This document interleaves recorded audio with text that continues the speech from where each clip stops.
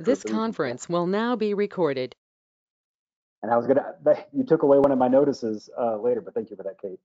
Uh, so we'll do a more formal um, sort of welcome and introduction here in a second, but I just quickly wanted to introduce myself. Uh, I'm Brad Calvert. I'm the Director of the Regional Planning and Development Division uh, at DRCOG, uh, the Denver Regional uh, Council of Governments. thank you all for making some time today. I know everybody's busy and it doesn't uh, help that we're in a holiday week as well, but this felt like one of those things. If we didn't schedule it as soon as possible, we might lose two whole weeks uh, to bring uh, this fine group of folks together. So we thought it important to really just sort of sort of throw schedule caution uh, to the wind and, and, to bring this uh, initial group uh, together. So again, thank you all for joining us all on short notice. again, ideally we'd probably be doing this in person, but the world we live in now is the Brady Bunch virtual meeting world. So we'll do our best to make sure all the technology works out uh, to our advantage today. Uh, so with that, I'll maybe go to the next slide. And Kate, if you want to sort of step them through kind of a few housekeeping notes for today's virtual conversation. Sure. Um, I'm sure many of you have used GoToMeeting by now, but just as a brief refresher, um, it is meant to be a more collaborative tool, so you all have the capability to mute and unmute yourselves using um, the button highlighted on the screen.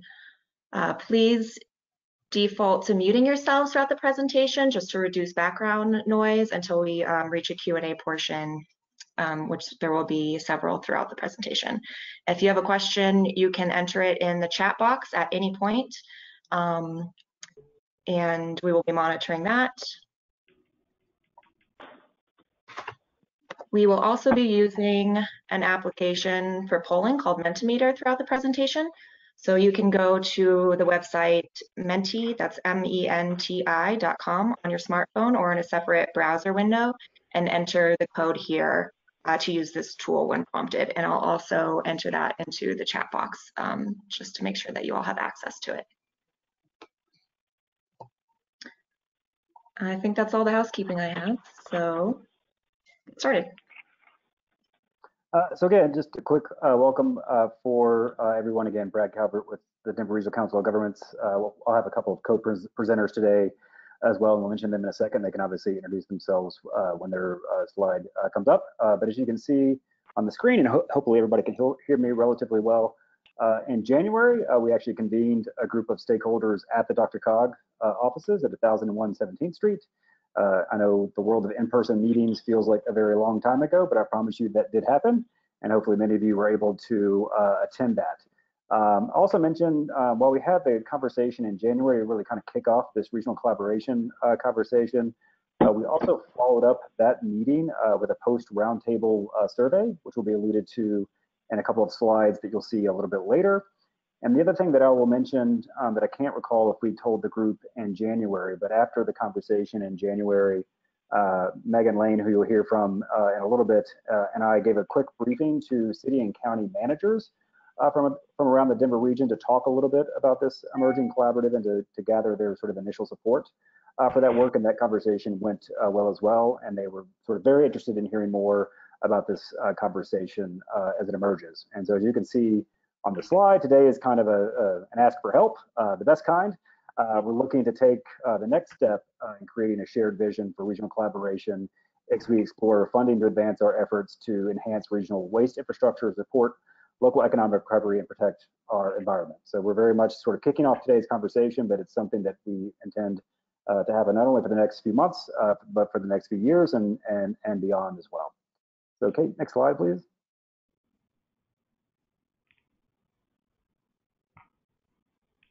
Uh, so again, so I'm Brad Calvert. Uh, I'm going to kind of do the intro and the outro, uh, but you'll hear from fo some folks uh, in between as well.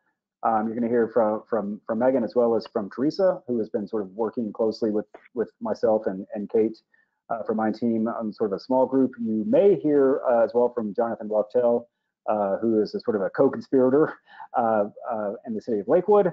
Um, Jonathan's largely sort of doing moderation, moderating role and trying to keep up with with the chat, but not a surprise if you hear Jonathan's voice uh, at some point as well today. Um, are very we very much hoping to have folks out of here by like 3:30 or so today. We think we can cover most of the content and stand up a few conversations uh, during that time. Uh, you heard the announcement, but I will uh, add to folks that maybe weren't on the call when it started, but this is being recorded. Uh, so just know that as you're uh, making your comments known. Uh, we had several folks that were interested in being able to join today that just simply couldn't make uh, this time work. So we offered to, to ultimately record and make it available for uh, uh, future viewing as well. So Kate, next slide. So I know that there are a fair number of people. Oh, so you, you I forgot this slide. Uh, so this uh, is, again, folks you'll probably hear from uh, today. we are simply co-convening. Uh, we do not see ourselves as sort of the the only group uh, that should be having this conversation. In fact, that's a big part of the ask today is to try to bring uh, other partners and stakeholders to the table uh, over the next few months. So thanks to, to Golden, Lakewood, Denver, and, and DRCOG for hosting today's uh, conversation. Next slide.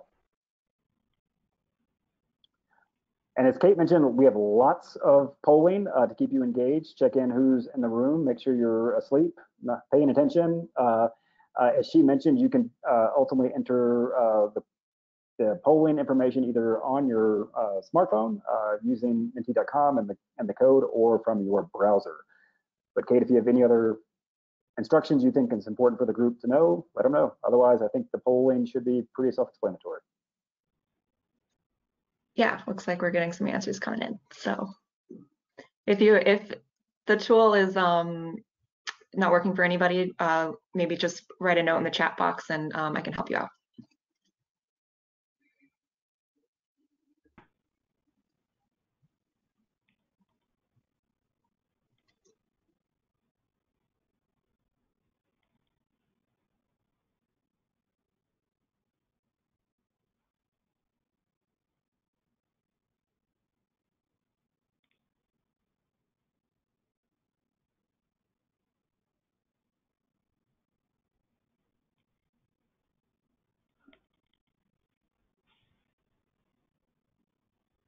Kate, I'll defer to you when you think it's time to uh, close the poll and, and move on.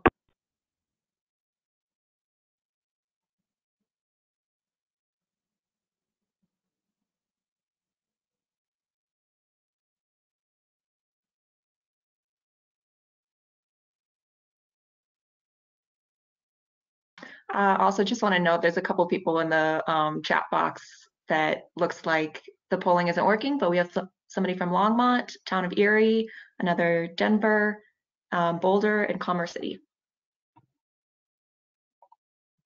Thank you. Yes, please feel free to use the chat box if you're feeling a bit disenfranchised with your voting. That's always an option.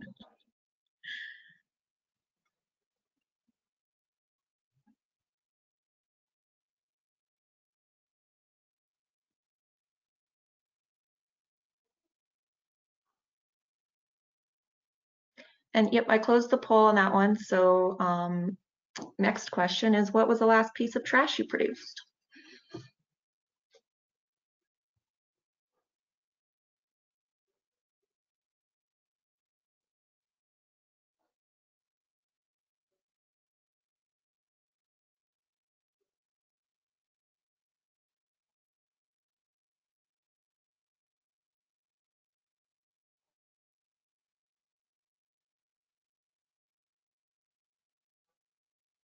I wonder if that's an uneaten box of raisins or an, em an empty box of raisins. That was mine. They were uh, they were consumed. Yes, I love my raisins.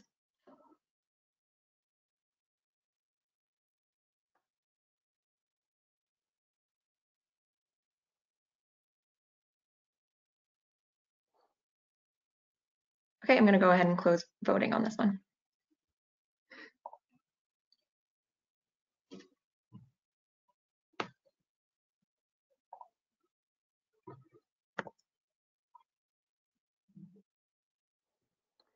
Uh, so again, I'll, I'll, I did not want to sort of belabor the point about who DRCOG is and what we do as an organization because I know there are folks on the call that probably uh, work with us quite frequently, but others uh, maybe know the name or the acronym, but maybe don't know much else about DRCOG. But as sort of the host for today, I thought a little bit of level setting uh, was important uh, in today's conversation. Um, I don't really want to do a, a deep dive, uh, so trust me, I'm very much skimming the surface. But if you hear something in today's remarks that you want to reach out and talk a little bit more uh, about sort of what goes on at DRCOG, I'm happy to be a resource uh, for you. So really, I just wanted to provide kind of uh, some high level information about basic structure uh, and roles.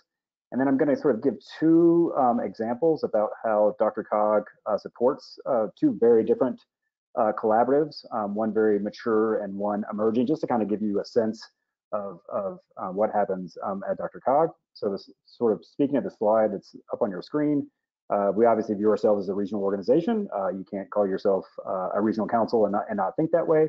One thing that is actually pretty unique uh, about DRCOG, even compared to peer agencies from around the nation, is that our board structure includes every local government in the Denver region. Uh, that's pretty unusual. In most circumstances, you're dealing with kind of a representative uh, group, but when our board meets, and that's what that photo on the slide is, um, it's showing elected officials from around the Denver region uh, coming together to collaborative, collaboratively assess, better understand, and pursue strategies uh, to address uh, regional uh, challenges. Just to kind of give you a sense about um, how seriously DRCOG takes uh, collaboration, we're actually in the final days of an annual collaboration assessment. So we reach out to our board every single year and ask them how do they feel the collaborative is working, uh, collect that feedback, and ultimately change course uh, if that course needs to be uh, changed. So obviously something we're very uh, interested in supporting uh, from the elected official level all the way to staff uh, level as well. Next slide, please. Uh, I feel like everyone sort of has some obligation to put up kind of their mission and vision statement when it applies. Um, I'll leave it up to, to you to read if, if, if you'd like. but really, I, I really want to use it as a prompt just to mention uh, that DRCOG exists um, as an as an organization um, to do regional planning. Uh, we sort of date back to the mid 50s and regional leaders coming together uh, at that point in time to recognize that it was better to plan together uh, than to plan alone. Uh, so just that's just sort of baked into um, our DNA. And even though we are one of the oldest council of governments in the country, it's important to note they will remain committed to exploring new ways and roles that allow us to better serve our member governments and the Denver region more broadly. Next slide, please. I worry about explaining this virtually, but I'll do my best. Uh, the thing that I probably want to draw your eye to are the kind of multicolored shapes uh, on the right right hand uh, part of the slide. Uh, those are kind of our formal roles and authorities. Um, that largely exist uh, because they appear and are named somewhere in statute, uh, whether that is federal or state. Um, we have federal and state uh, statute, uh, statutes that ultimately uh, establish these roles, Regional Planning Commission, Metropolitan Planning Organization, and Area Agency on Aging, that formally give us sort of the authority or the expectations that are assigned with that role. Uh, the first one, that Regional Planning Commission being kind of in the growth and development uh, side of things, if you remember that from the previous slide, uh, Metropolitan Planning Organization uh, on transportation, and Area Agency on Aging, as you can imagine, uh, focused on um, aging uh, issues as well. Uh, so in many ways, our sort of again, our authority, our roles um, are, are, in some ways uh, gifted to us by statutes um, at the federal and state level. but that doesn't mean that we aren't always looking for again other opportunities to figure out how to support the great work of our of our member governments. To the next slide.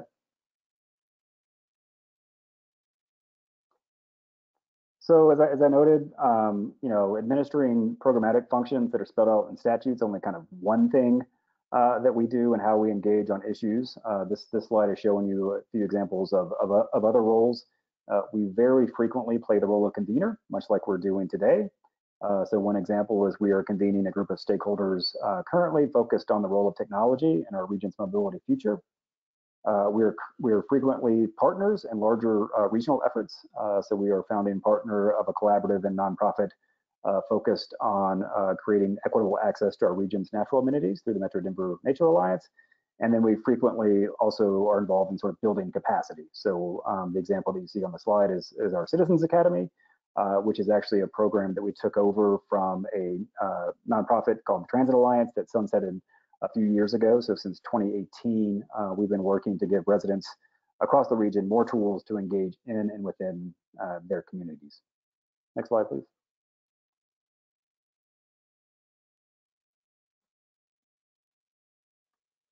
As I mentioned um, sort of earlier, uh, I really kind of wanted to just hit two sort of collaboratives uh, that we're actively supporting in the moment. And again, largely to sort of just be illustrative uh, in, in, in describing the way that we support this work. Uh, in part because, you know, I laid out that mission statement um, earlier. That's very much a mission statement of the board of directors. Um, we oftentimes as staff find ourselves playing slightly different roles. And one of those uh, is really supporting uh, collaboratives from, from around the region. Uh, so one example is um, sort of regional data. Uh, so we work on behalf of typically 50 or so uh, partners to secure and acquire um, regional, uh, large regional data sets to inform both regional and local initiatives. Um, this is something that we've been doing since 2002 um, ultimately what we're doing is we're taking uh, data needed to pursue local work and making it making it regional in scale uh, to bring those cost savings to individual local governments that are looking uh, to turn uh, that data into useful information um, in their work. And we make sure that those spec specifications as defined are met uh, when we actually have a vendor in place to produce them. We have been doing this uh, type of work since 2002. So clearly something that's been kind of in the works for quite a bit of time. Next slide, please.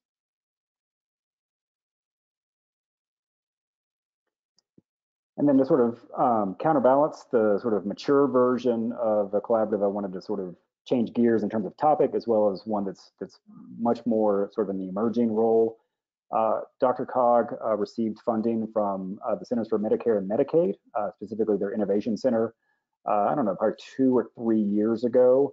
Uh, and it's really focused on maybe that last bullet is the best descriptor. DRCOG is serving as what's called the bridge organization, to where we are working with both sort of clinical health systems as well as community-based partners uh, that are working to address health-related social needs. So that could be housing, transportation, uh, utility assistance, uh, those sorts of things. Uh, and that role is ultimately sort of myriad in its in its approach. we are building sort of data models and data supports, ultimately creating new systems and healthcare systems, ha having navigators on site to help navigate uh, patients toward, uh, to those community-based uh, partners. And we're also working with a series of, of folks to co-design um, interventions uh, to ultimately result in better outcomes. And we're going to uh, test, evaluate, and replicate uh, those interventions throughout the region. next slide, even though I think the next one is probably Megan's slide. With that, I'll turn it over to Megan. Awesome. Thanks, Brad. So we just wanted to spend a few minutes to go over um, what we actually covered at the roundtable back in January, especially since that was quite a long time ago.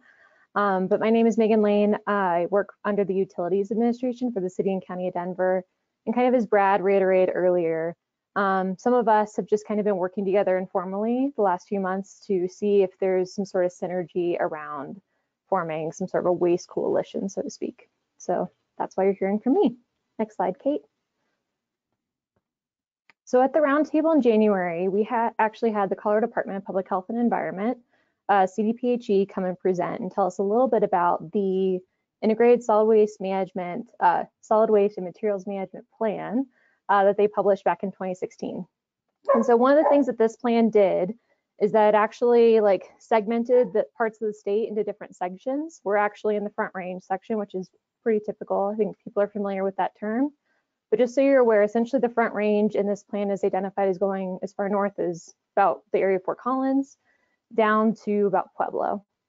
And the purpose of this plan was to identify essentially how the current waste management system is working or frankly not working, identify needs and recommendations and areas of opportunity to improve our waste system as an entire state. And so this looked at different transfer and disposal infrastructure, um, waste collection systems, and also specifically looked at diversion materials management uh, challenges and opportunities as well. And one of the key recommendations that came out of this plan was to actually encourage communities to explore regionalized options, uh, facilities, infrastructure, and planning as well. Next slide.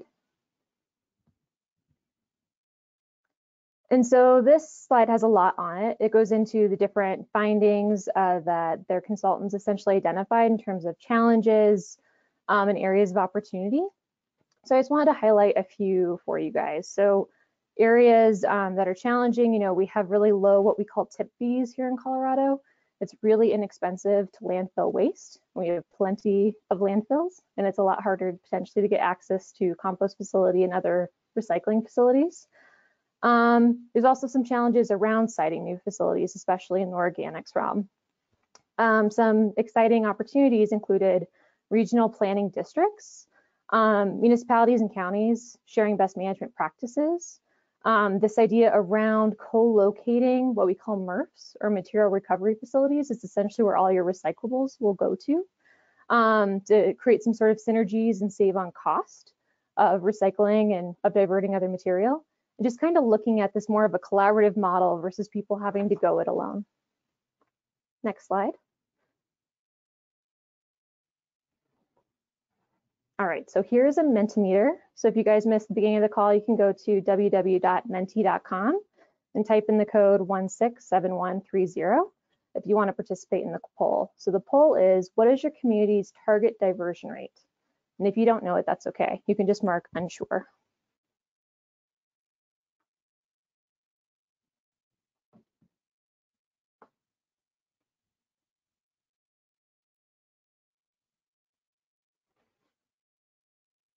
All right, so it looks like we have answers that kind of run the gamut so far. Um, some communities aren't sure. Some municipalities might not have, and county governments might not have made it a priority actually to set goals in this area. And then all of us kind of run the gamut of, you know, some goals that are in the lower quartile and then some that are as high as trying to set a zero waste goal, for example. Next slide, Kate.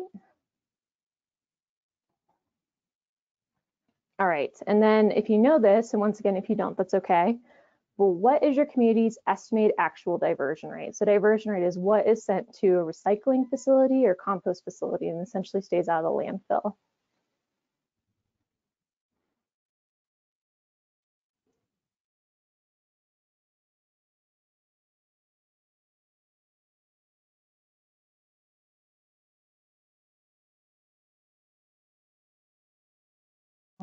So it looks like a lot of us are probably in the range of setting a goal um, up to 25%. Some of us, once again, is higher from 50 to 75%. Um, and then others are unsure, which makes sense because data in this realm can be really difficult to kind of get a grapple on. Next slide, Kate. So to put that into perspective, as of 2018, Colorado's MSW rate, which means municipal solid waste, which essentially includes your typical materials that you would send into a recycle cart at home, like cans, bottles, paper, etc. Um, and it also includes things like food waste, uh, yard debris, and things like that. So it's what you typically find in the waste stream, whether it's generated at your home or what we call the commercial sector, so businesses, multifamily, um, industrial areas, etc. So the, um, the MSW rate is, was 17.2%. And then the total diversion rate, which includes things like scrap metal and construction demolition waste, um, actually goes up quite a bit because it's a lot of heavy material and a lot of scrap and aggregate is recycled. It goes up to 35.4%. And just so you guys are aware, um, the front range MSW rate, rate was 18% that year, which is where we fall. Next slide, Kate.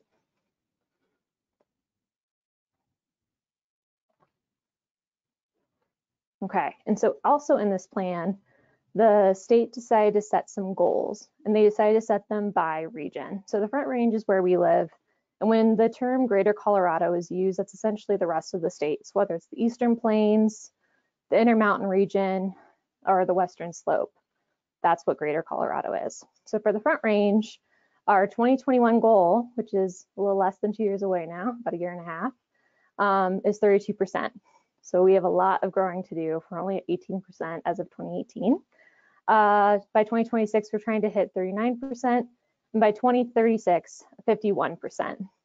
And the reason why you see that the Front Range area has more rigorous targets than the rural or greater Colorado area is because we house more of the state's population. we also have the benefit of density. So we it makes the economics a lot easier to move recycled materials around the state and to compost materials as well compared to more sparsely populated parts of the state. Next slide, Kate. Um, and so in this plan, there are various strategies that are identified. There's actually 12, but we tried to uh, consolidate it down to eight, just you guys can actually see it in the next poll that we're gonna do.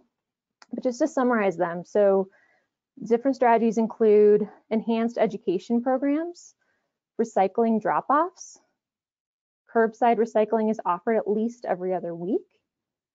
Curbside recycling uh, has a fee that's embedded in the rate, where it has a pay-as-you-throw rate structure, which means you're charged more based on how much trash you generate instead of having to pay additionally for recycling.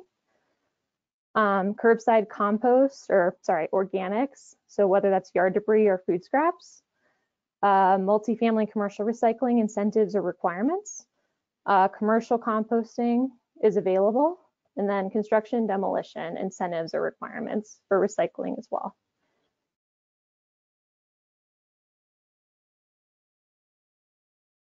So use the Mentimeter tool to say what your community has identified or adopted for policies and programs in the waste sphere.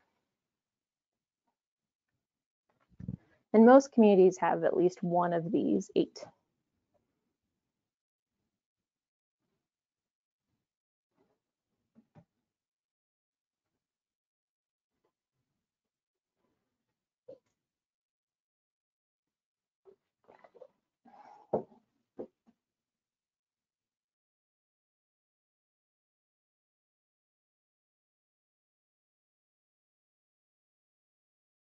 Awesome. So it looks like recycling drop-offs, education, having curbside recycling at least provided or offered every other week is probably the most common.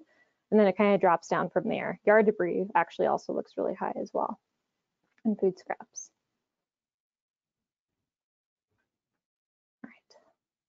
And then if you guys can also identify what your community aspires to adopt, whether it's a policy or program in this next fall as well.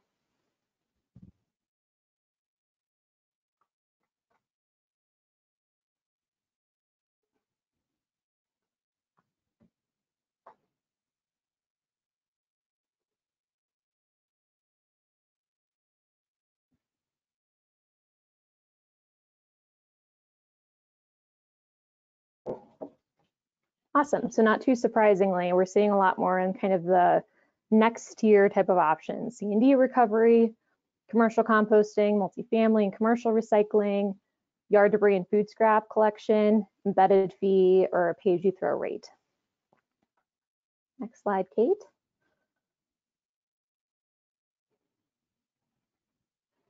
So taking a look at the diversion rate for 2018, um, and considering that the next target is 32% by 2021, that means the front range will essentially need to recycle an additional 865,000 tons of material and send it to a recycling or compost facility in order to help reach the state's goal.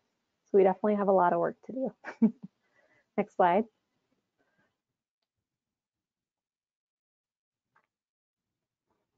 So essentially a summary of the plan, you know, the plan is intended to help improve convenience and minimize additional costs um, by increasing participation in recycling and composting programs. Uh, essentially states that we have to look at targeting recovery for organic material in the commercial sector if we actually want to drive diversion. It also tries to create a path forward and provide some recommendations for local governments and communities such as uh, the regional planning like we discussed before and other best management practices. And then CDPHE also has different grant funding opportunities. One is the RREO grant program, and one is funded through the Front Range Waste Diversion Board or the Forward Board, which Teresa will be talking more about later. Next slide, Kate. So what we tried to do was we tried to figure out how much waste is actually generated in the DRCOG region, in our region. And that's difficult to do because there isn't a lot of data regarding that. Some municipalities might track how much waste is diverted in their residential programs. Some communities might have hauler licensing programs, try to get how much is collected in the commercial sector, but there isn't a complete picture for the DRCOG region currently. So we provide a low target, which uses the states per pound per person, average. Then we used actually Denver's hauler license data to come up with the high end of the range, just to give you guys a sense. So we estimate that between 10 to 15 pounds is generated per person per day in our region. Uh, we also are estimating that about half of that is construction demolition waste, so 4.5 million tons. and then another half is MSW, or municipal solid waste. So then if we just look at MSW on the next slide, we're estimating that up to 75% of the material could be recovered, either through recycling or composting. So we have a lot of opportunity in our region to make sure those materials are captured rather than just being put into the landfill. Next slide, Kate. So at our roundtable in January, once we kind of walked through all this information, we tried to identify differences as different jurisdictions, whether you're a city or a county, and then some things we might have in common. So just to walk through them briefly. So differences, you know, structured waste collection. So some cities actually collect their own waste with their own people, what we call self-hauling. Some might contract it out to a private company, and then others, it's totally open market for residential. Data around waste generation and composition is also really inconsistent. Some of us may have done waste composition studies for our residential programs, but there isn't a lot of data around the commercial and the construction sectors as well. We also have differences when it comes to goals and policies and requirements in this area. And our programs and our guidelines actually vary a bit too, just because, for example, when we send stuff to our MRFs, our material recovery facilities, there are two different MRFs in, the, in Denver alone, and then Boulder County has a MRF as well. And there's some differences in what materials they'll actually accept. For commonalities, you know, we're working with a lot of the same, sorry, Kate, go back. working with a lot of the same private hauling companies. Um, we do utilize a lot of the same facilities, whether it's landfills, recycling facilities, or compost facilities. We face a lot of the same structure, uh, infrastructure and transportation challenges. We really all face the same end market realities. So the markets in the recycling sector and where that material is going to go, we all face the same challenges. Next slide, Kate. So this is a map of the DRCOG region. It's kind of outlined in blue here. And you'll see that we have quite a bit, quite a few landfills, a few recycling facilities, but not very many options for composting, which is a challenge, especially when landfill tip fees are low and when landfills are close, makes the, it very difficult to make the economics work for composting, for example. So for the city of Denver, with including transportation costs and the tip fee for composting, it drives up the cost to about $44 per ton, which makes it really difficult to make those economics work. Next slide, Kate. So essentially after the roundtable, we had a lot of really good conversations around what the heck we, are we going to do? we all agree that we face similar challenges and that we have a lot of opportunity, but what should we capitalize on? So after the event in January, we actually sent out a survey and four key things rose to the top. So experience and knowledge sharing was identified as a priority. So essentially for all of us to work together to discuss local uh, best management practices, policies, and programs, doing some knowledge sharing. Um, standardization, data collection. Like we said, it's really hard to get our hands on good data. So we need to be able to figure out what is our actual baseline as a region. The third is explore regional facilities. So determine what sort of regional infrastructure gaps that we face and how can we figure out how to make this more of a system instead of just materials being sent to the landfill, compost or recycling facility. How can materials actually flow through our region the most efficient way possible to help reduce cost and increase diversion at the same time? And the fourth one was closing the loop locally. So whether it's composting and utilizing that compost locally, or glass or other sorts of recycled material, we want to create closed loop systems to increase uh, effectiveness, but also to increase essentially uh, number of jobs created locally and be a source of economic development as well. All right, next slide. All right, any questions for me? You guys can also unmute yourselves if you'd like to talk, or you can put something in the chat either way. Megan, this is Nancy Ford from Arvada. I have a question. Do we know the timeline on all of our um, landfills when they'll be full? That's a good question. I don't know all of them. I'm going to let Teresa speak to her situation, Golden. So, Nancy, we probably share a similar landfill that our haulers are using, the Foothills landfill. And a couple of years ago, they had told us that it had 20 years life left in the landfill. Last year, they told us that it now has 15. So it's moving up pretty quickly. They said that they could get a couple of years extension if we were to remove all of the yard waste and the organics from that, that stream. And um, I have some insight because we just, Arvada just went through uh, a vote to approve organized waste hauling. Um, one, of, one of the things that concerns me is that in our constitution, we have the option of choosing our waste hauler. And somehow I think that that has to get out of there. Um, because as long as people have the right to choose their waste hauler, they will continue to choose a waste hauler if they don't like the system that's being offered to them. So I would say that's that's going to be an issue number one.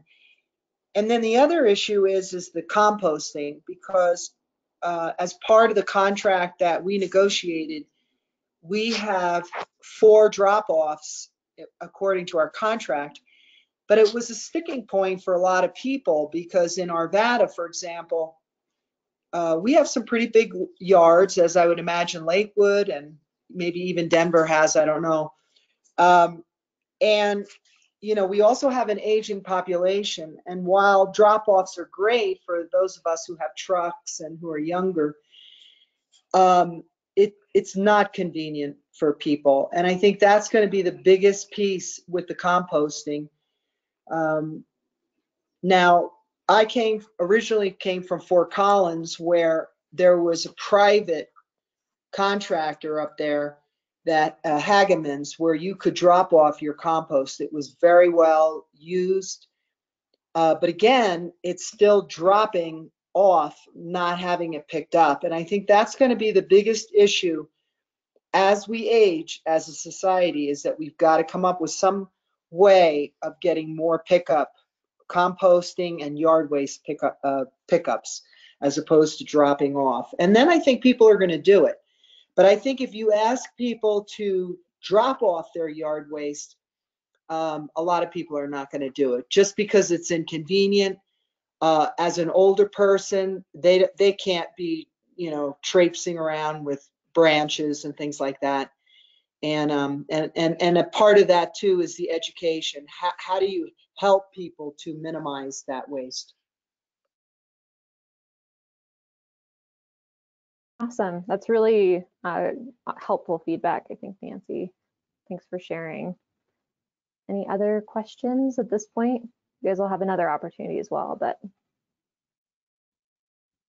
I'll just um, share that uh, Tyler Kessler from Town of Erie um, in the chat box has said that the Front Range landfill um, will be accepting waste through 2051. So in answer to that question, so it sounds like they've got quite a lot of space. And also to say congratulations, Nancy. I know that was a lot of a lot of work in Arvada. Well done. Yeah, no kidding. Yeah, thank you. We're uh, four of us are being recalled, uh, so there's a lot of uh, political um, difficulties in doing it, but it was definitely worthwhile and we're excited. That's awesome. Okay, Teresa, I think I'm going to hand it over to you.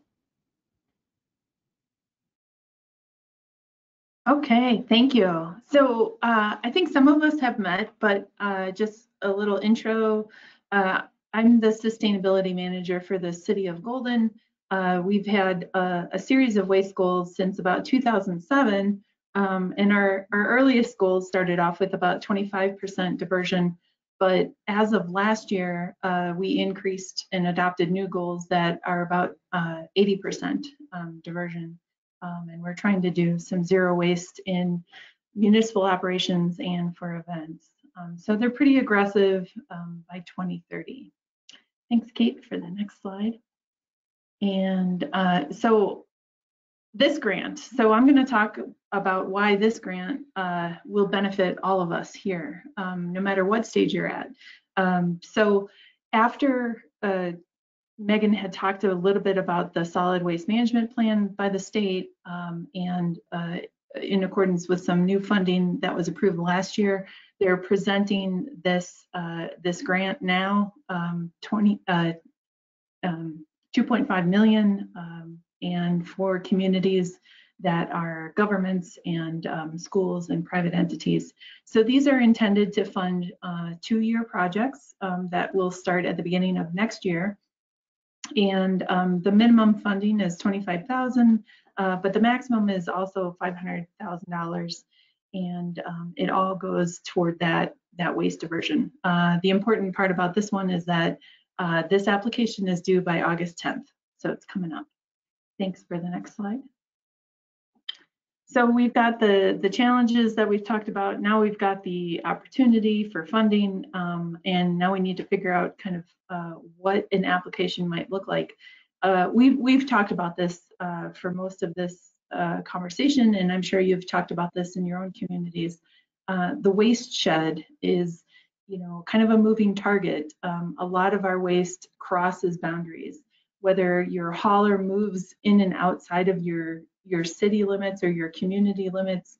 Um, we've got kind of finite uh, lives of our landfills.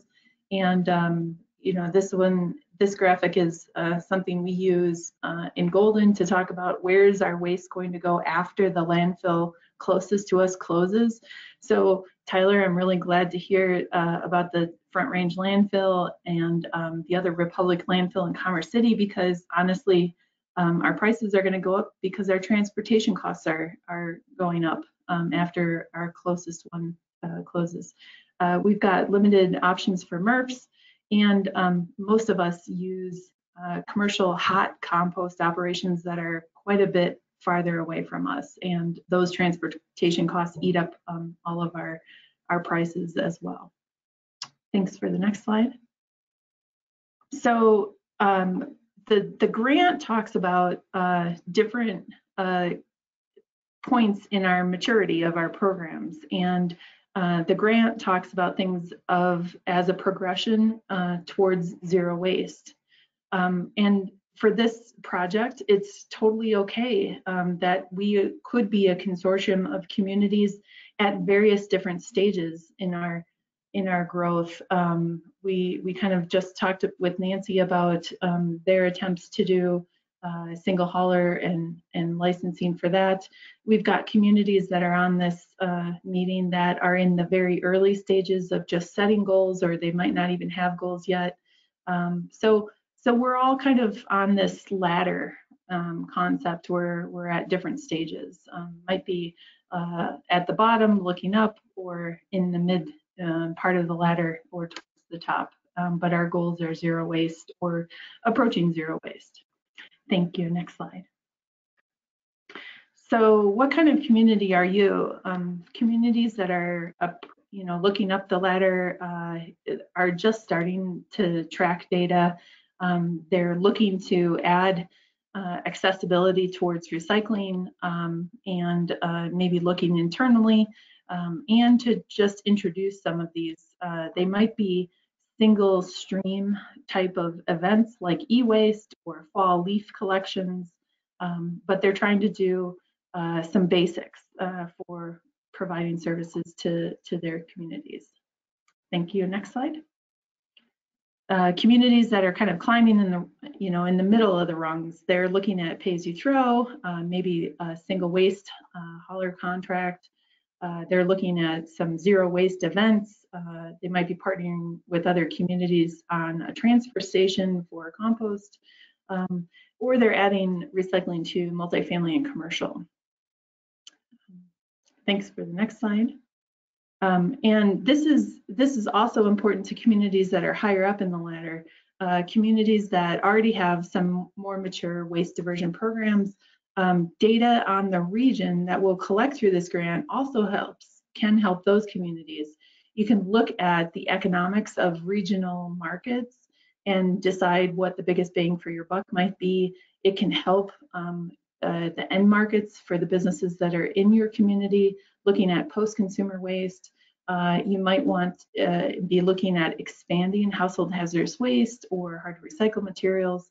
Um, so this this this can help data on a regional basis can also help even more mature programs. Thank you. So right now we've got a poll. So in thinking about your own community, um, where are you at on this spectrum? Are you kind of in your infancy, starting out? You might have dabbled a little bit. Are you middle, uh, looking to do quite a bit more? Are you um, more mature program? And we'll take a look. Good deal. So we're starting to see uh, a good amount of communities that are kind of dabbled, got their feet wet, you know, quite a few diversion programs and and uh, looking to do more. Um, but we also have a lot of communities that are uh, starting out and can benefit from some of this. Uh, but I'm I'm I'm also pleased to see communities that have done quite a bit and uh, might be able to benefit from this data as well.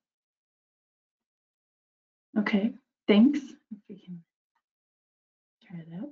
Okay, so why why does anyone you know need data? Um, you know, data gives our municipalities, our counties language to kind of understand the issues and the challenges.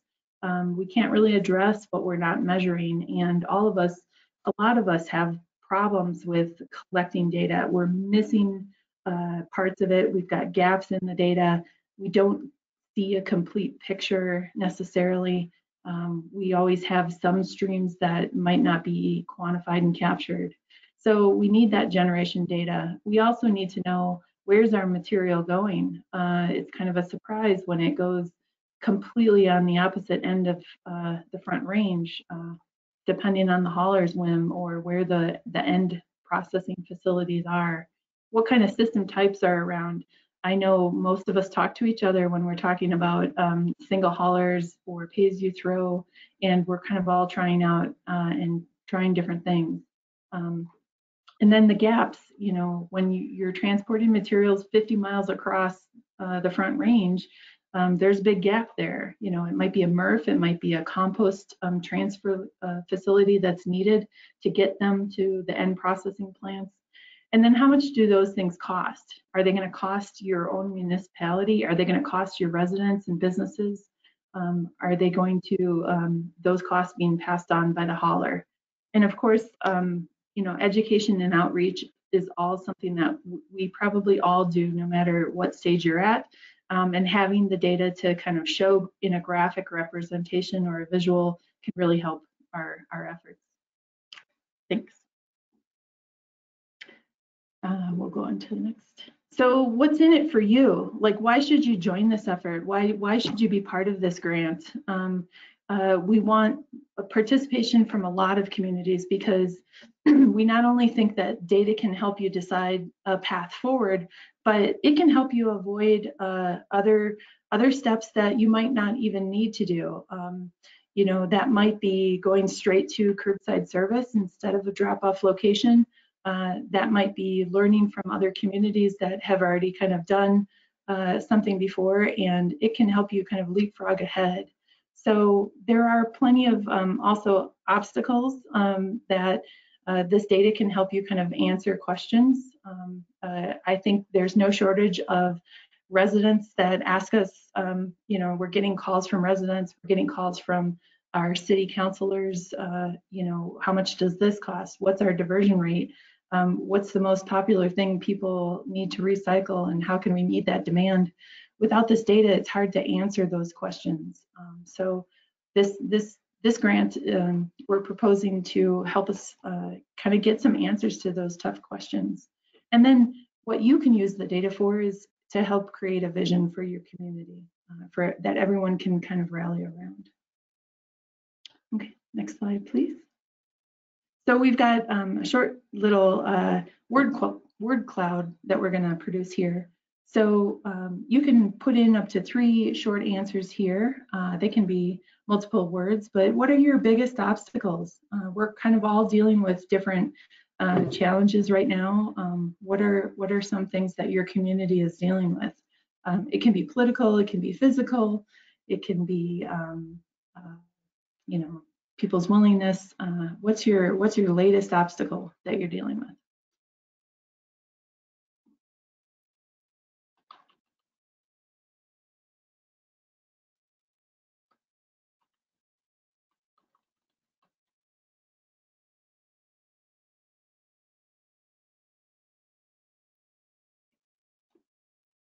Okay. Construction and demolition, political resistance. Oh, the NIMBY attitude, that's a good one. Uh, funding is central to this world word cloud. Um, so we've got a lot of folks with with funding needs. I suppose if we threw money at it, we could solve everything, right? so communication, organics, price of land, that's a good one for siting some of these activities, right? We're on the the front range is expensive, and um, there's a reason why some of those organics hot commercial operations are on the plains. Um, laziness, that's a good one. Transportation costs, good deal. Communication capacity, yes. But political resistance, participation, education, politics, they're all right up there. Very good. Well, we'll have this word cloud uh, available later and uh, thank you for your, your comments. Sounds good. Well, we can go to the next one. Thank you. So, so again, our opportunity, $2.5 million. Um, we're, we're not looking at um, taking, asking for the whole thing. Uh, we think that this data collection uh, process uh, could be uh, closer to $450,000. Um, and who's most likely to get these grants? Um, they're listed in the RFA. Public and government agencies are at the top. So what we're trying to do here is see if there is willingness to kind of come together as a consortium of local governments who could get some letters of support um, around this this type of a grant. And um, this is a, a winner. So you don't have a match this year. Maybe you're short on funds doesn't matter. You don't have to provide a match. We don't. They're not asking for a match here. So um, this is a fantastic opportunity that doesn't come along. Um, but what we really need is is your help and your indication of of willingness to kind of help us out before August 10th. Um, so so that's that's kind of uh, the grant in a nutshell. And um, I'm going to turn it back over to Brad to talk a little bit more about um, the grant itself and some of his observ observ observations. uh, th thanks, Teresa and, and, Megan and, and Jonathan, all for chiming in as well as the great questions, uh, both sort of verbal and in the chat. Um, Teresa sort of gave you a pretty good overview of this opportunity. Um, I want to make it very clear, uh, Brad Calvert, Director of Regional Planning Development at DRCOG is not an expert uh, on this topic, but um, we are, we as DRCOG are at least working from the assumption that we will actually be the applicant uh, for a regional uh, planning grant uh, under this opportunity, just given that we have uh, a fair amount of experience as sort of I described uh, above previously, sort of supporting emerging and mature collaboratives. So as Teresa mentioned, I, I literally just kind of went through the grant and from a grant writer's perspective, sort of made sort of a few notes. Um, I'm convinced the content uh, will come out of uh, the stakeholders that come together uh, and ultimately develop a proposal. Uh, but from a sort of an early read um, of this, from again creating a compelling um, application, you know, I think one of the key things, and this is straight from uh, the RFA that you're seeing um, on the screen right now, is this idea of moving up multiple steps or rungs on the ladder. That that's that's an interesting sort of expectation. Um, and our hope here is that sort of a regional approach uh, to this work would allow uh, communities across the Denver region to be able to move up not just a, a single step, uh, but multiple steps. Uh, and as you can see, um, sort of the italicized piece at the at the bottom, um, they do uh, want grant applications from throughout the Front Range. Uh, so I think a very important message from the folks that have spoken with you today is this should not be thought of as superseding a local application. If there is something that you are looking at in your own community that you want to pursue, by all means, uh, please take a look at this opportunity and see if it works for your local community. This is in many ways to sort of build kind of that regional scaffolding to allow um, us to move up sort of as a, as a community, uh, a community of communities um, up the zero waste ladder. So please don't don't take uh, sort of our, our ask and maybe even a commitment of working with us to suggest that you shouldn't be working on uh, your own application. This is an exciting uh, opportunity uh, and one that as many people and communities as possible should try to take um, advantage of. Uh, next slide, Kate. Um, another thing that sort of just occurred to me and sort of looking through the, the RFA is this is not uh, some ginormous, impossible to complete multiple hundred page grant application. Like just doing the math suggests that we're talking about 10 pages total uh, for narrative. Um, so that's that is not uh, uh, not insignificant to get there um, uh, because we should all be on the same page. Uh, but from an overall sort of uh, work programs perspective, in terms of coming up with a compelling narrative between now and, and August, uh, that seems uh, pretty doable compared to other grant opportunities I've chased over the years. Um, one thing that I noticed is this idea of sort of a singular project goal.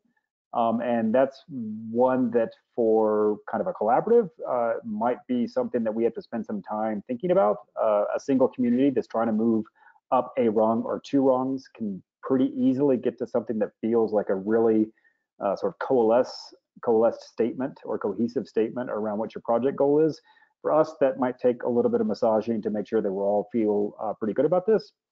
Uh, the other thing that's really important is this is just a first round of funding. Like we, we do not have to feel like this has to be the end all be all and, and, and ultimately bring forward a solution set uh, to sort of every waste shed issue that the region uh, might be facing. There, there are other uh, opportunities uh, coming up in, in, in the future. That doesn't mean we should not use this opportunity to set ourselves up for success when future opportunities come around um, as well.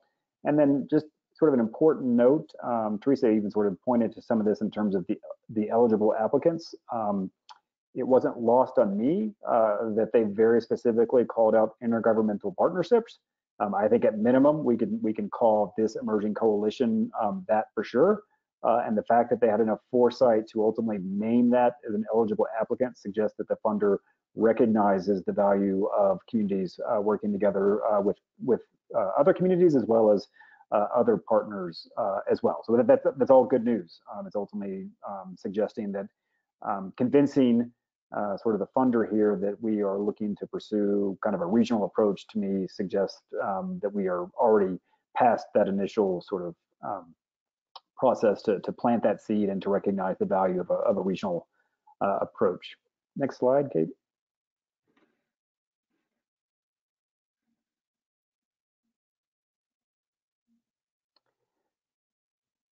And then just in terms of sort of project reach and goals, um, I'm going to talk a little bit about kind of the, the, the roles that lead us to a successful uh, application, but I want to point to some things that are also included within the RFA um, itself.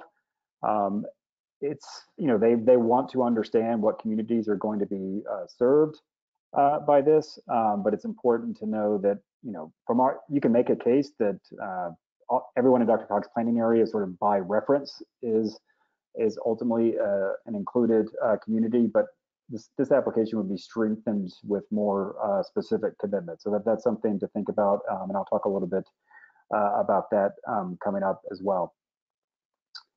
Um, in terms of uh, sort of the application, uh, it would ultimately benefit from sort of how the project will advance those existing local goals uh, that's where these sort of letters of support and commitment are really important here um, to, to be able to describe with some degree of, if not certainty, um, some level of commitment about using the work that would come out of, of this proposal to, to ultimately advance not only regional waste diversion goals, but, but moving individual communities up uh, their own uh, waste ladder um, as well. Uh, we also need to be thinking about uh, roles for community and business partners, um, both during the grant period uh, and beyond, something we'll just need to reflect uh, in the application and kind of related to that as well as, um, you know, Teresa mentioned that this is sort of a two-year uh, sort of window for the project, but uh, a successful application really is going to sort of extend um, that beyond the grant period as well. Uh, next slide. And I know there's a question coming in from Suzanne, but we may sort of save that uh, uh, towards uh, the end here. So let me just sort of finish up with a few more uh, slides. Um, just sort of getting back to kind of actually the, the business of actually putting hopefully successful uh, grant application together. Um, as noted, it's due on the 10th of August. so that is not a not a, not a, not a, not exactly the longest window, but but pretty reasonable um, considering uh, the sort of the reality that really there isn't necessarily a huge application um, that has to be put together, but obviously some a lot of thought uh, needs to needs to happen. So really, kind of the first part of July is working um, with folks on this call, whoever's willing uh, to sort of step up and get involved to, to make sure that that scope of work is feeling like it's going to work for uh, your individual needs, the needs of your community.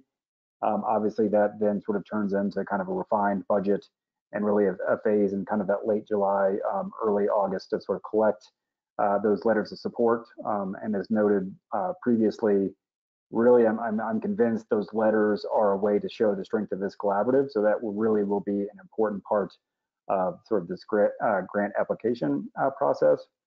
Uh, in terms of time commitment, I'll describe kind of some roles um, here in a second. We really think this can be relatively minimal over the next maybe six, seven, eight weeks. Um, a few online meetings uh, to, to maybe get us started, in addition to the conversation that happened in January, um, the follow-up survey today's conversation, just to make sure we are uh, really have a strong proposal uh, from outlined uh, to begin with. And then, you know, obviously, if you've ever been through something like this, um, reviewing drafts um, outside of meetings is important so that when we have our time together, uh, you feel like you're representing your community, your department, and have a sense of, of how to maybe steer uh, the proposal in a direction that, that works better for you. And then again, I sort of hammered this, but I'll do it one more time. Um, those letters of support are really going to be um, pretty important uh, for, again, a successful uh, application that's that is attempting to sort of meet the needs of a, of a pretty broad and diverse uh, collaborative. Uh, next slide. Uh, so again, just a few, uh, a little bit of a sense of kind of roles that would be super helpful um, as again, um, I am making the commitment that, and it's sort of the last sort of bullet on here, um, DRCOG staff is more than willing to sort of take this thing to the finish line, uh, uh, making sure all the materials are complete um, and that we have a compelling application, but we are very much in the uh, grant writing expertise role, not the subject matter expertise role. So we do, really do need a good cadre of, of uh, partners here to ultimately get us to um, kind of the best uh, version of this proposal. So on the sort of the lighter lift side, we would love to have folks that are kind of in that advisory role. Uh, maybe you're simply kind of committing to two things. One, read through uh, to make sure that you can sort of do a head nod that this is something that will be of value uh, to your community? Is that pretty far? Um, is it you know near near final? Um, and then obviously again sort of that letter of support uh, phase, which you know for all intents and purposes to have uh, something in the door by August 10th, we probably have to close um, the letter receipt, the receiving letters by like that Wednesday before, which is Wednesday, August 5th. If they trickle in, they trickle in, but if if we can get most of it in the door by that Wednesday, that'd be great.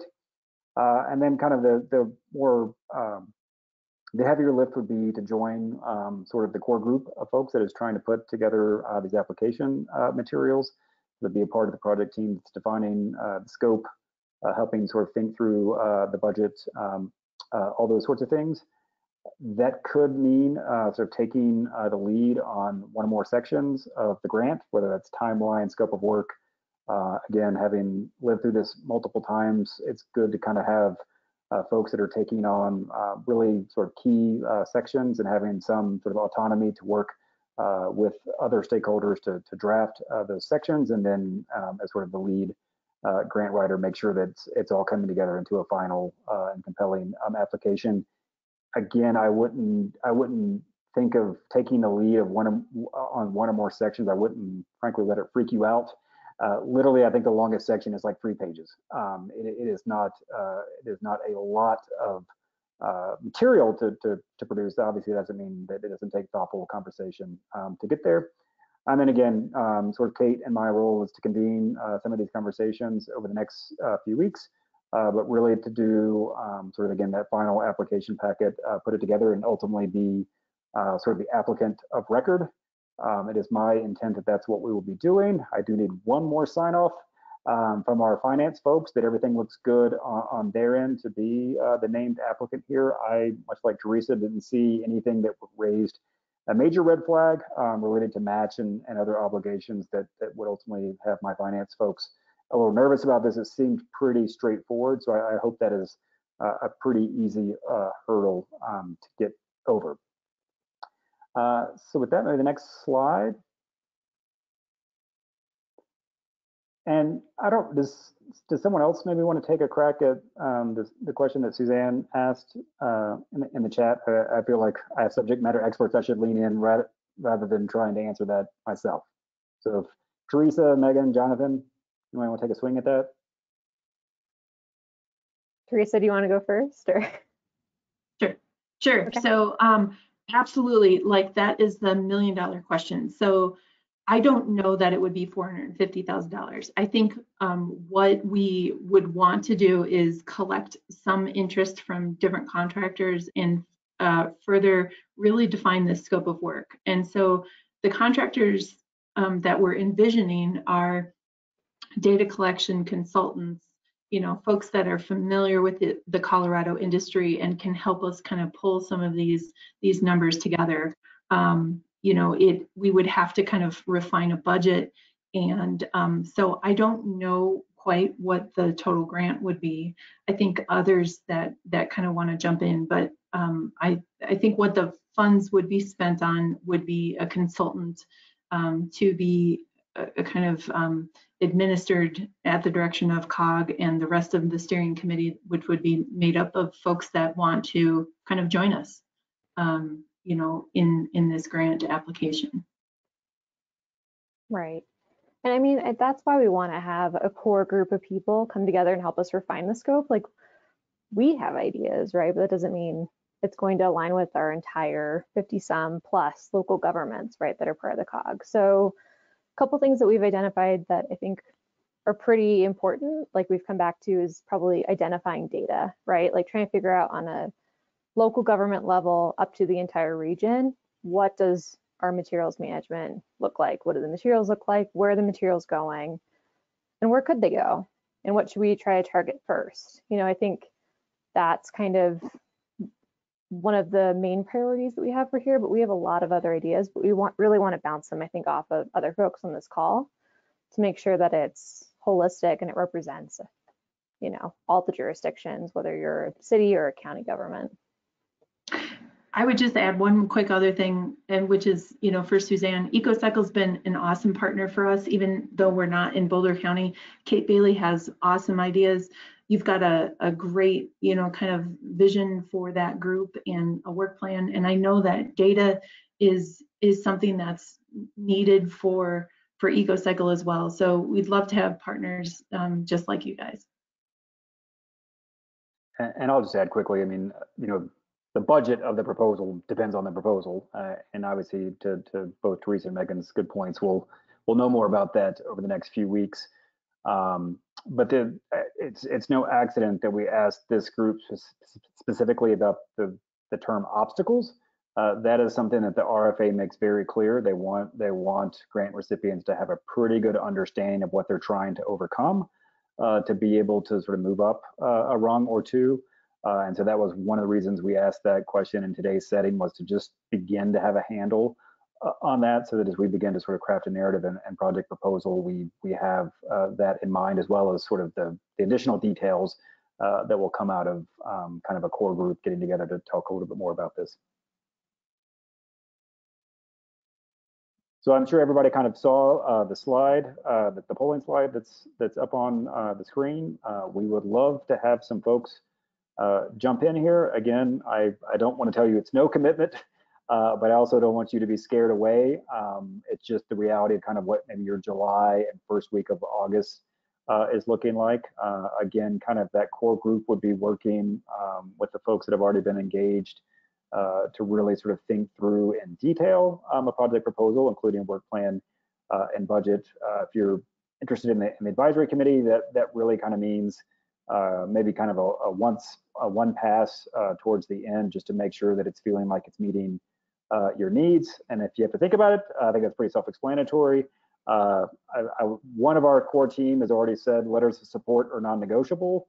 Uh, we really think that is the thing that is going to set us apart. Again, it's, it's hard to talk about a regional collaborative that that alone um, advancing sort of regional data and other conversations. I, I think there's merit and there's value there but the extent to which uh, local communities can turn uh, that data and information um, into tools that they use they use to move up the zero waste ladder. That's the that's the message that we're going to have to deliver uh, to the funder. And given that we have very little space within the narrative to make that case, those letters are going to be really critical. Um, sometimes in grant applications, letters of support are probably more cosmetic than anything. I don't think that's the case here. I think really good letters are going to be the thing that sets uh, this apart from um, other worthy projects that are also uh, looking to receive an investment.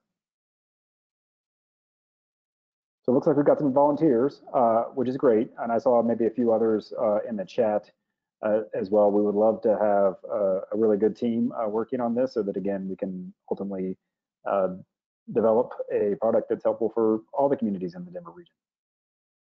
Brad, this is Nancy Ford again. How many people uh, would uh, be beneficial for the core group? Uh, have, ha- you know, uh, you've done this before, so what would be a good number for that core group?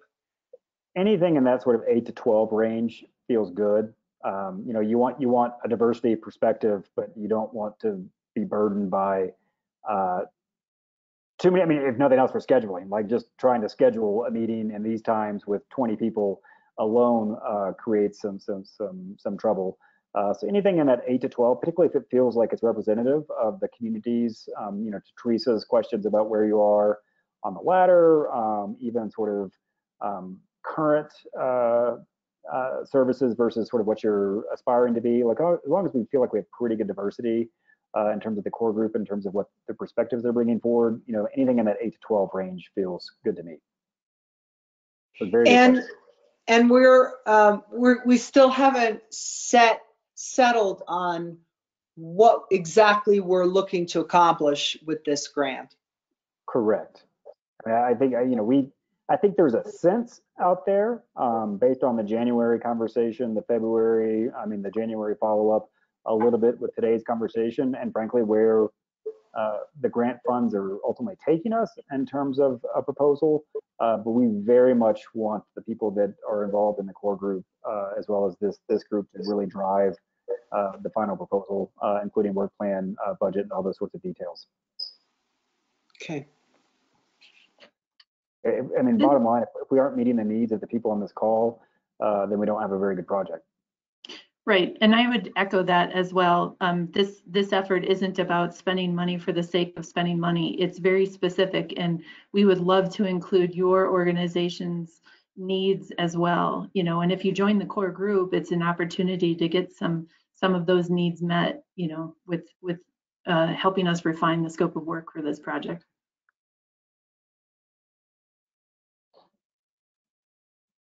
I think I'll just add, you know, the state's pretty much said that in general, communities or regions that do have plans in place, especially region plans, generally get, you know, higher rankings, you know, among state grants. We don't know exactly how the FRWD board will, you know, award grants, but that's particularly how the PPAB assistant committee, assistance committee has been. So another thing, it could, by just us putting together a plan, like it might actually help your community get funds in the future. Or this region, frankly, get more grant funds in the future if that's how we decide to proceed. Do, do we have a plan for this region? I know that the governor, you know, has a, a, plan uh, uh, for energy, but do we have a, a waste diversion plan for the region? I'm sorry, I'm a little, uh, uh, you know, ignorant, if you will, of, of what we're doing. And Randy Morman from EcoCycle, Kate, Kate Bailey was one that really helped us tremendously. Randy Morman is on our Arvada Sustainability Advisory Committee, and I know that, you know, they have a lot of answers, but I don't, what, what has Dr. Cog done in terms of a regional plan? Uh, on this topic, Yeah, next on to- waste next- diversion. Next, next to nothing. That, that, this is, I mean, we're dipping our sort of toe in the water here. Uh, but again, I don't even necessarily think of this as a DRCOG product at this point per se, other than we would be the lead applicant and bring people together.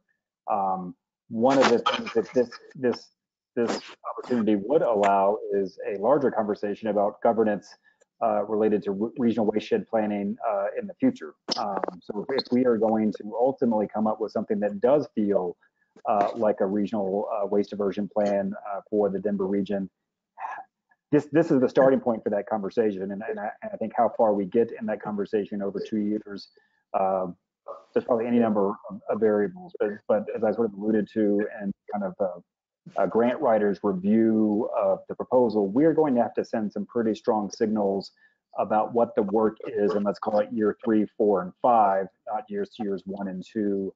Uh, they would ultimately be seeking uh, funding through this through this work. So I, I think we are very much heading towards a plan, but I'm I'm a very big believer that the owner uh, of that plan and who puts that plan um, into action needs to be known. And our hope is that that's maybe something that comes out of this uh, two-year conversation as well. Right. And just to piggyback on that, so for those of you that maybe couldn't join us in January, you know, um, DRCOG's boundary roughly encapsulates about 50% of the state's population. Um, so therefore, we can assume it probably encapsulates at least 50% of what the state's waste generated is. Um, and you know, there are other parts of the state that have done regional planning and other parts of the country, right? Larimer County is a great example here in Colorado, but the difference is, is they have a county that houses all those local governments, right? We don't necessarily have that here in the metro area. You know, we have however many, like Brad, correct me, how many counties? Is it six? Is it six counties in the DRCOG boundary? Uh, nine and a portion of a tenth. Okay, nine and a portion of a tenth. And then, you know, several other dozen uh, municipal governments. And so our thought by collaborating with DRCOG, since they are already a regional entity, you know, they already help with regional planning, they'd be the best entity to help us drive this mission forward since we don't have a governing entity other than DRCOG that really encapsulates all of us.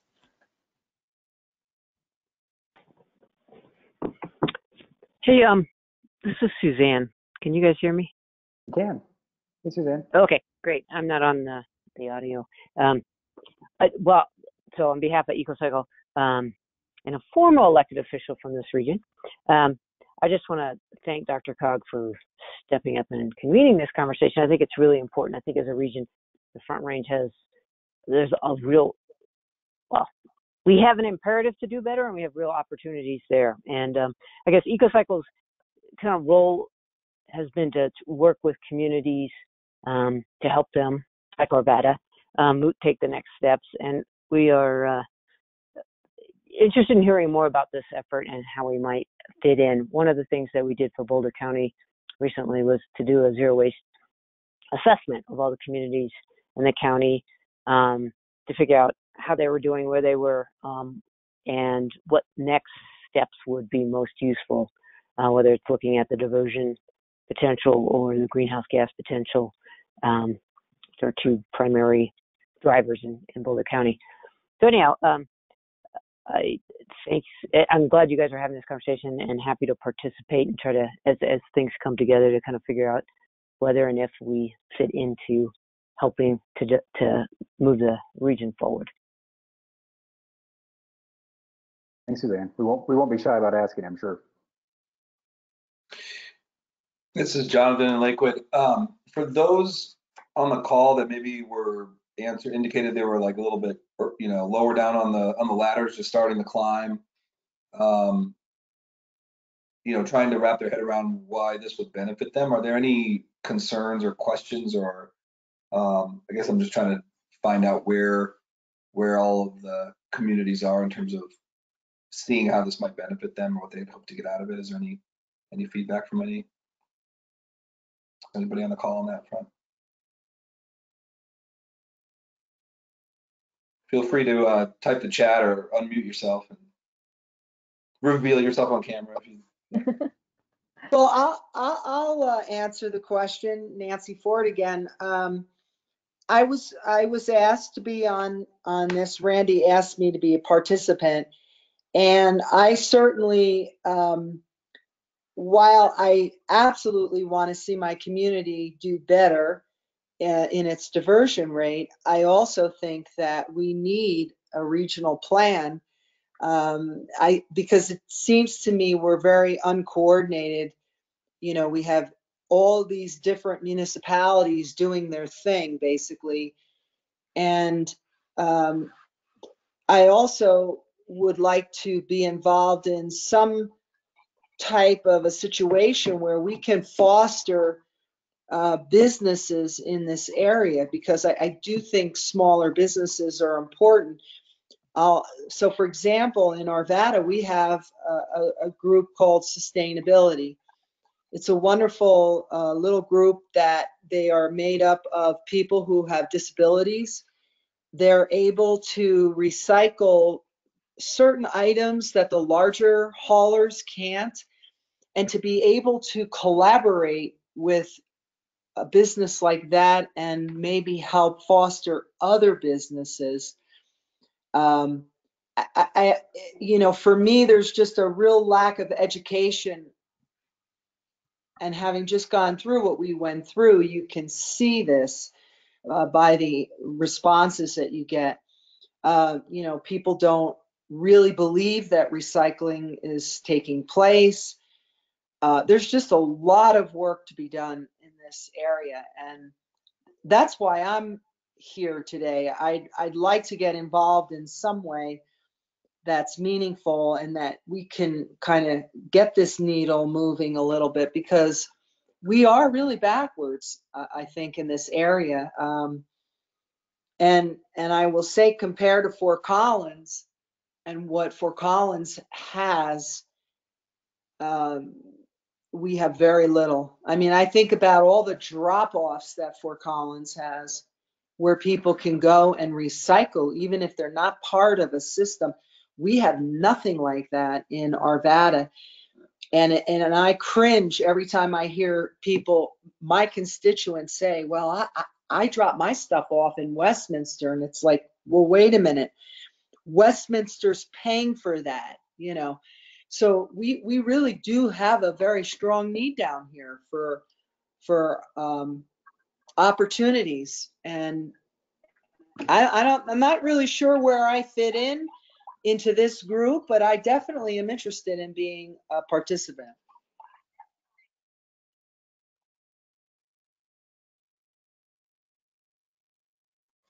I think we can uh, close the poll.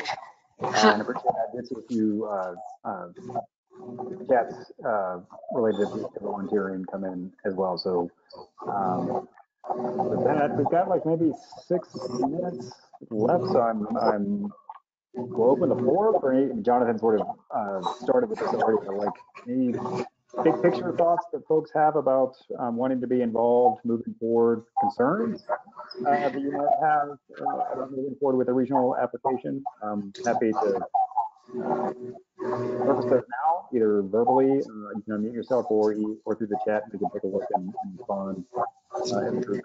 if anything that's, probably speak to. Hi, this is Elizabeth from Littleton.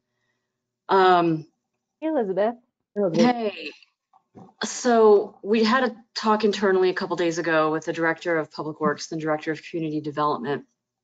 And um, based on where the city's resource and staffing levels are at right now, um, to answer the previous question about what's going to be of most use, I think, I think given the political bent of this community, data uh, is going to be really important for Littleton to start uh, being able to be somewhere higher up the rungs on the ladder and not just looking up the ladder. um, uh, we've got a current city council that is um, very responsive to data. Um, and and is is very excited about making clear-eyed decisions based on um, you know well-informed conversations. And i think the city of littleton has got nothing uh, at, at our city level from a data perspective where we could start to have those conversations between staff and the elected officials and the city and the community about the reality of of our our you know solid waste management world down here. So i think the data part could be really important for littleton to be able to to make some changes. Um so yeah, I just wanted to throw my hat in the mix regarding the need for data.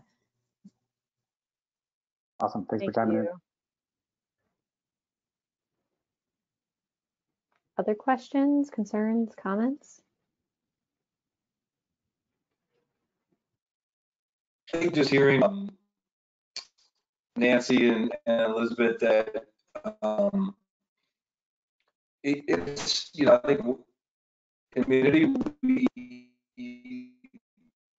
have not been successful in really taking many steps to move up the ladder, even though we've been focused on waste for a long time. And what it's clear to me that when a statistically significant survey says that 97% of your community thinks recycling is important, but there's not enough support to invest dollars or political will to change a system, that you obviously have a gap. What is that gap? Do we need better infrastructure to bring prices down? Do we need different facilities to make make it easier for people to access these things? If it's about government role, then how do we help the actual market function better so that people can keep the choice of hauler? Maybe we don't solve our traffic and nuisance issues, but we can get better services and actually require some things in licensing without spiking people's prices and having that political fallout. So there's, it's to me, there's just clearly a gap, and these to address that seems like it's a regional effort because it's about shared facilities and transportation costs and all these things. So I think to me, that's where this seems like an obvious win for any community getting involved because um, regardless of whether you are in control or have a community that really is hands off with the waste issues, we can hopefully move the needle. That's my hope.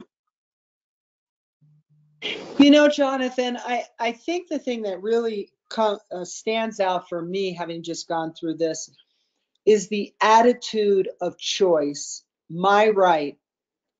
Um, I really struggled with that because I think that when people feel that it's an individual choice, they don't see this as a community thing. Um, that this is we're this is for the common good, the betterment of all of us. And um, I don't feel that we've made the case yet for that, um, especially in Colorado where our tipping fees are so cheap and it's so easy to throw out. And, and I think the convenience is extremely important. Um, I'm a marketing researcher. I've done a lot of research in the green movement, if you will. So historically, people will always say that they want to do what's right. But given, you know, costs and other factors, uh, just because they, you know, they're always going to say what they feel that they should say. But that doesn't mean that ultimately they're going to do it. And I think that when people truly understand the need, and, you know, we struggle with that. And I think, um, Elizabeth, I think that's who's uh, from uh, Littleton, you know, that, um, that data to, to help people to understand, because otherwise it's sort of like that, the, the, um, um, oh, um, you know, the, um, sorry, the climate, you know, you have people on different sides of the camp, you know, who will say, no, there's no such thing as climate change, or yes, there is climate change. We really don't have those hard facts. And I, and I think, you know, that data will help. But again, how do you move the needle on this individualism that we have where it's my right to choose my hauler? Forget about the forget about the community. To, to me, that's an attitude that somehow we fostered. And it's even in our Constitution, which really annoys me, that a community cannot force citizens to, you know, to, to go with one hauler or another, that people still have a right to choose their hauler. And I think that's a real problem.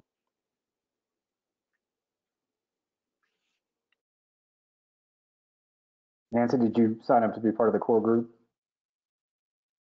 Did I? Yeah, I Um, think she just did. yeah, that's, that's what I was confirming. I would be, I'd be more than happy to be a part of the core group. I, I'm reading a, I'm reading a very interesting book too. I, I just want to say this.